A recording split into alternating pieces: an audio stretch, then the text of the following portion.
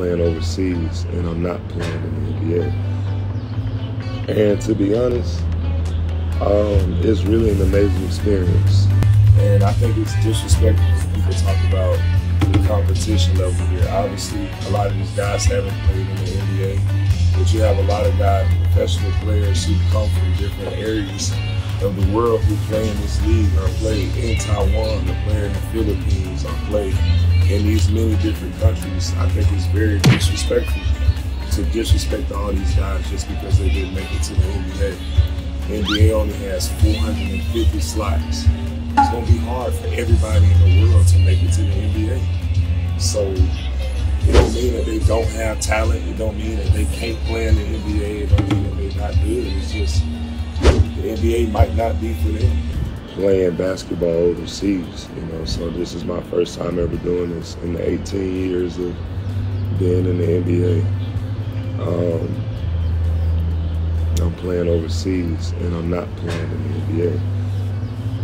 And to be honest, um, it's really an amazing experience. You know, really just get away, you know. And sometimes you gotta get away to get away. So uh, this is great for me just to be here, um, be here in Taiwan with you know these beautiful fans, and the people here is just so amazing. Yeah, they bring me a lot of fruit and stuff like that. So I've been eating this. Like I've never seen an orange like this really. Yeah, this is an orange. So I've been uh, eating these. These are really, really good. I love you.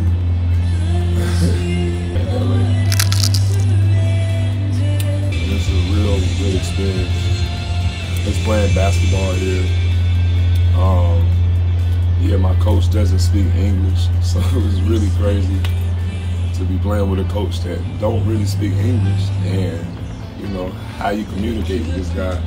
So when we have a translator, we got to talk to the translator. He got to translate what we saying to the coach. In my mind, I'd be like, is he really telling the coach what I'm saying? Uh, but but then you know I really like the coach. Man, he's a real, he's a real good guy. Um, real tiny, real tiny. His name is Bobo, and he's always smiling. And I think it's disrespectful for people talk about competition level here. Obviously, a lot of these guys haven't played in the NBA, but you have a lot of guys, professional players who come from different areas of the world who play in this league or play in Taiwan or play in the Philippines or play in these many different countries. I think it's very disrespectful to disrespect all these guys just because they didn't make it to the NBA. The NBA only has 450 slots. It's going to be hard for everybody in the world to make it to the NBA. So it don't mean that they don't have talent. It don't mean that they can't play in the NBA. It don't mean that they're not good. It's just the NBA might not be for them. Fire. Guava, okay. They fire. I ain't even front. They got some really good fruit here. And noodles too.